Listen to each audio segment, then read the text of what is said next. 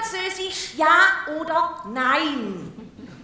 Grüezi miteinander, mein Name ist Deborah. Ich bin zweijährig, hochbegabt und Mediensprecherin vom Verein Kleinkinder wehrt euch, denn ihr habt das später alles auszubaden.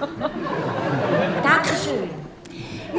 KKWE, DIHD, SAAZB sind uns einig, was wir brauchen, ist weder früher Französisch noch früher Englisch, sondern ein Paradigmenwechsel. Weg vom reduktionistischen Weltbild hin zu einer holistischen Weltanschauung. Ja, ich sehe, Sie wissen nicht, von was Sie reden. Schade. Die Forschungsergebnisse aus der Quantenphysik, der Systemtheorie und der transpersonalen Psychologie wären ja seit den 80er Jahren bekannt. Meine Damen und Herren, ich sage das sehr ungern, aber Ihr rückständiges Weltbild macht Sie zu Schildbürger. Man sieht das sehr schön an der Hirnleistung vom Herrn Nationalrat Matthias Ebischer, wenn er in der Arena sagt, Englisch lernen die Kinder ja einfach by the way. Das ist natürlich richtig. Weil aber am Herr Ebischer sein Hirn in 30 Lektionen Wochen unterteilt ist, kann er die Erkenntnis vom By the way lernen nicht auf die anderen Schulfächer übertragen. Stellen Sie sich doch einfach einmal vor, ich gehe auf Neuchâtel zu einem Gespendli und eine Baumhütte bauen.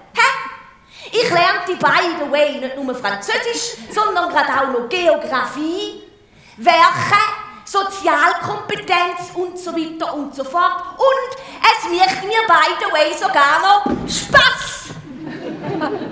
Aber wäre die Schule ein Wunschkonzert, hätte Herr Ebischer gesagt, hätte er als Bub ja nur noch geschuttet.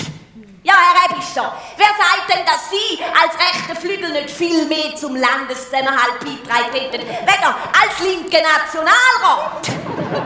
Und wenn wir gerade mal bei den Linken sind, Herr Löwra, den Kapitalismus will abschaffen, das ist etwa so ein Leerlauf wie zwei Lektionen früher Französisch auf der Mittelstufe.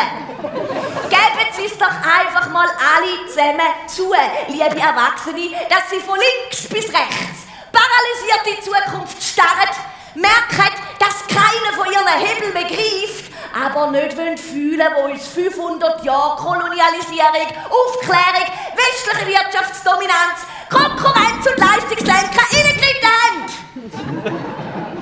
in einen globalen, humanitären und ökologischen Notstand.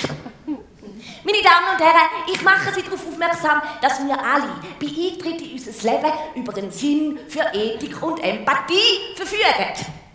Auch sehen wir uns als Angehörige von einer weltumspannenden evolutionären Familie und nicht von einer viersprachigen Alpenraum-Spezies.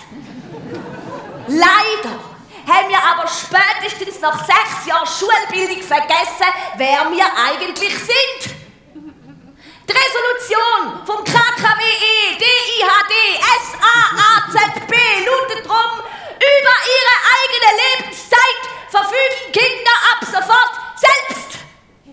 Dankeschön.